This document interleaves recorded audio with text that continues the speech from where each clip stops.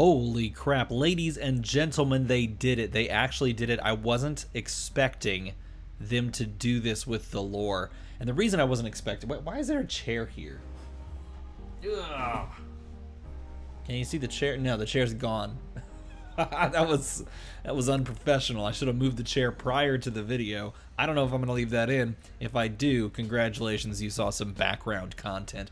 Okay, so I didn't expect them to do what they did with the lore in this video. And yes, I know this is probably not what you care about right now. We're like on the cusp, the night before. It's the eve of spoiler season. Things are going to get crazy, but I just need you to take a moment, pause, and understand that this set is connected to Monarch. And not just by like a single like thin line thread, they connected everything with this post. They connected absolutely every single thing with this post, and I'm going to show you how. And it, not gonna lie, it it floored me.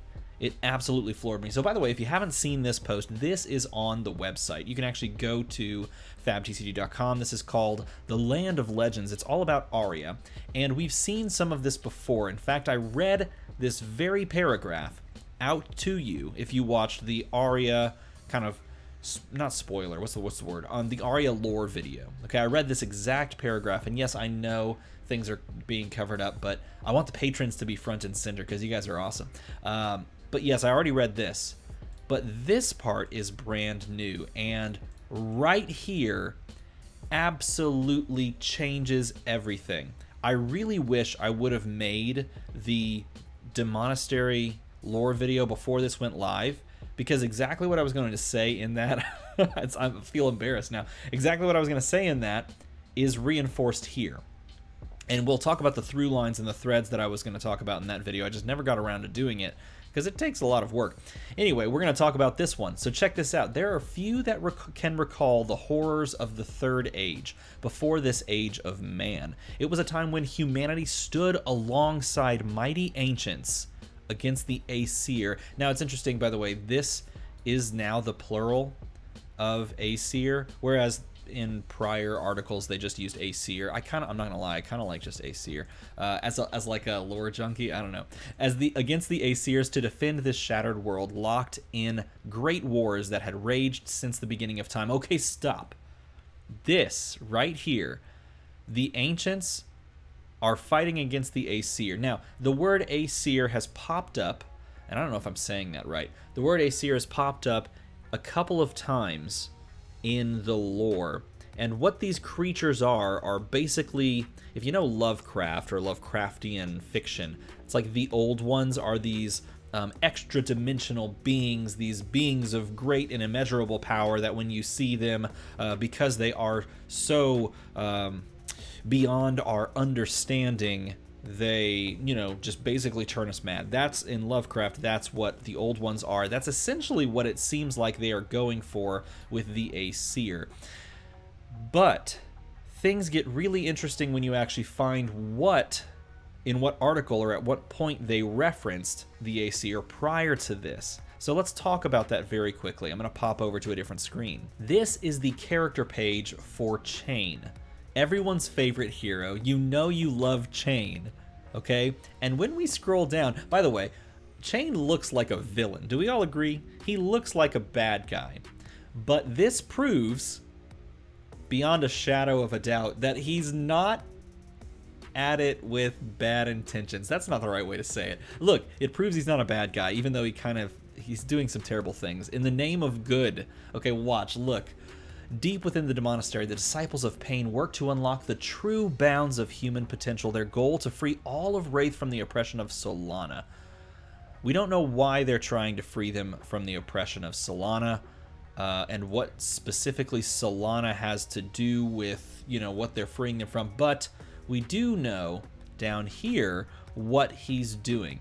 Chane is a gifted caster and researcher who wholeheartedly devoted himself to the pursuit of knowledge this is important. Having become an apostle of the order, Chane is burdened with duty, unified with his brothers in their noble quest to protect humanity from the return of the Aesir, whose vast arcane power would quickly overwhelm the land of Rathe. Now, wait for it.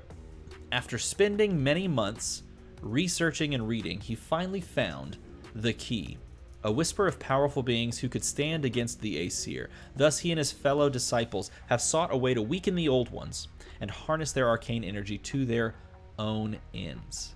Okay, just wait, just wait.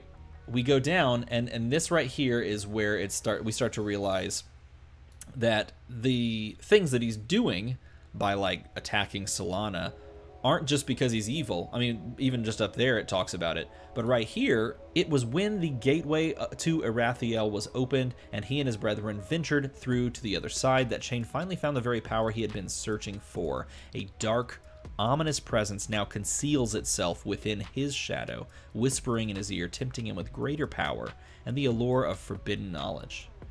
Even as he races to make this power his own, feeding and placating Ursur, which we know of his token, with the souls of the light, he walks a razor thin line on the very edge of the void. One wrong move and Chane's soul shall be lost forever. So basically, he and this is this is his lore. For some reason, he has discovered, and you can see this in his story, he's discovered some deep, long buried secret as to a connection between Solana, the city of light and soul, and these Aesir, perhaps. Okay, and these Aesir. And what he's done is he's gone and tried to research and finally figure out how he can help prevent the Aesir from returning and overwhelming the you know the world, which we saw at that at that little blurb at the bottom there on the the main page. Okay.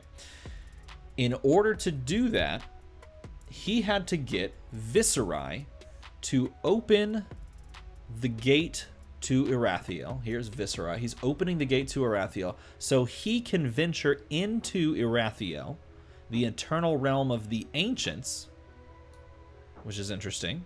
Okay, so that he could go into the darkest area of Irathiel.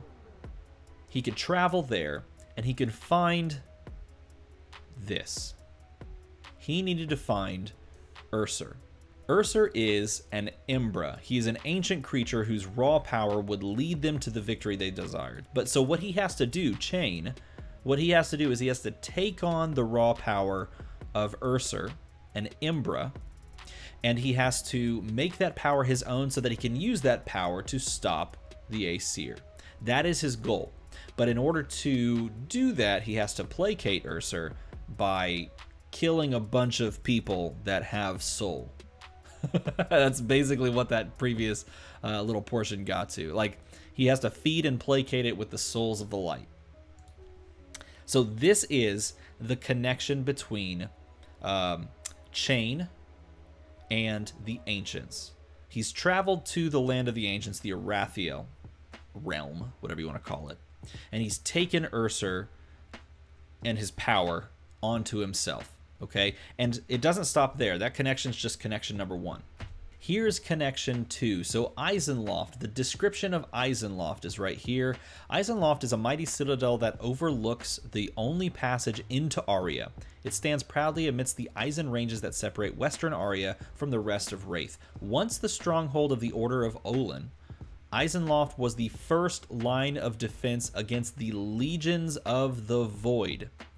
And this is not talking about presently the legions of the Void, which we see in Monarch. This is talking about um, the legions of the Void before the Age of Man, the Third Age. Okay, so this was constructed, or perhaps it just served as the uh, first line of defense for Aria against the legions of the Void, which continued fighting and had, the wars had raged since the beginning of time.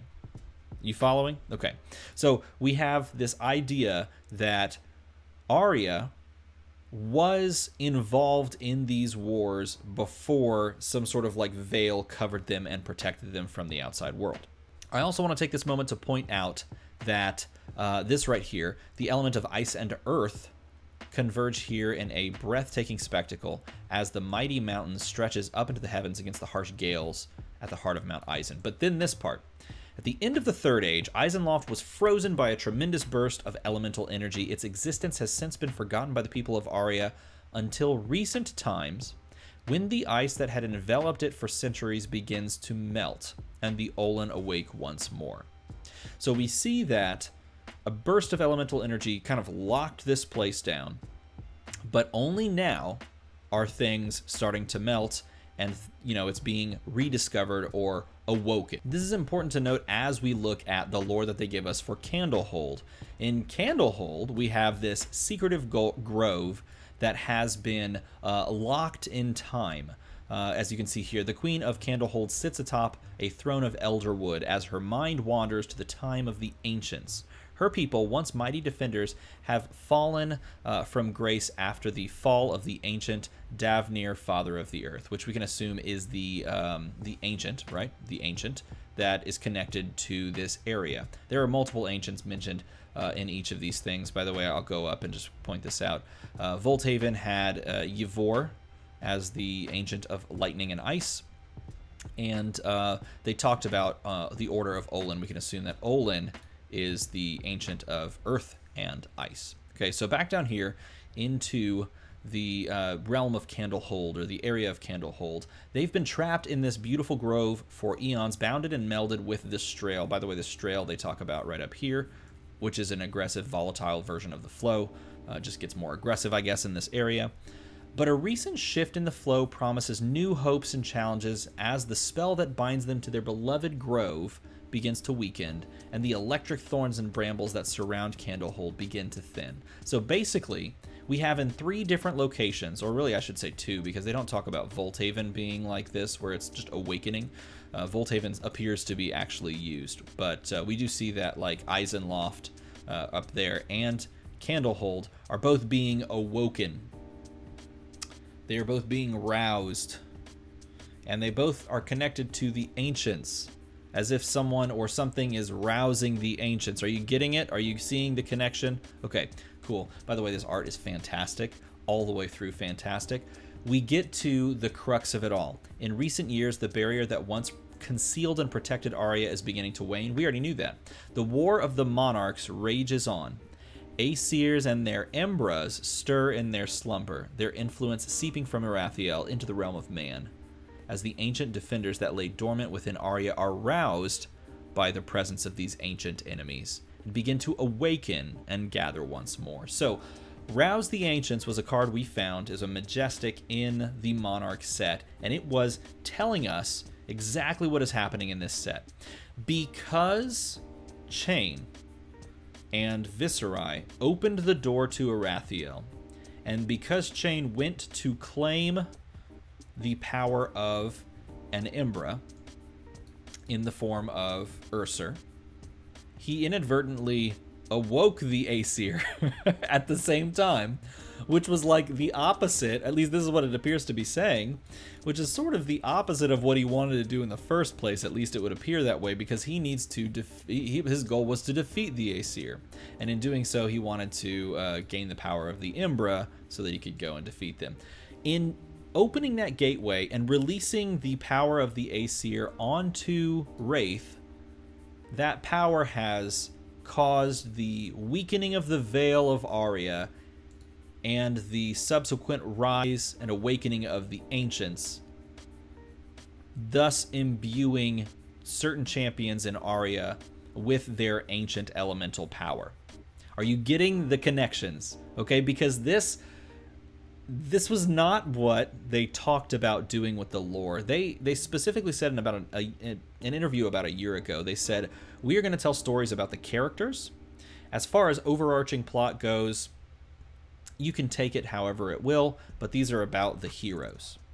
And we do see that you know the story here is about the heroes, but they've connected the world in a way that I was I'm very glad that they have and I am very excited to see what they're going to be doing as far as lore within this set. Because as you can see, this is very much connected to what is happening in Monarch, which honestly I was kind of worried about when they gave us a standalone Monarch set and now they're giving us a standalone Tales of Aria set. I was wondering if they're just going to tell us little snippet stories or if they were trying to connect it into one larger narrative.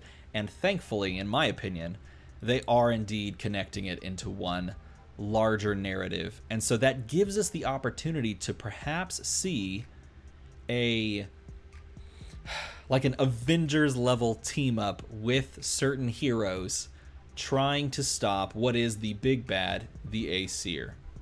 This is really cool in my opinion. I think this is really fun.